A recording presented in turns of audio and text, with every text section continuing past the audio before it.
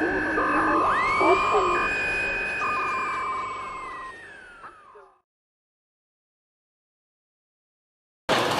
I'm prime minister, I will keep my promises.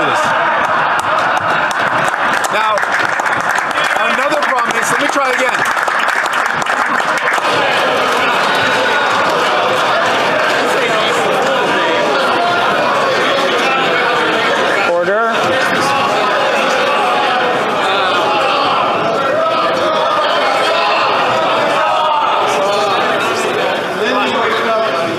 pretty. Order.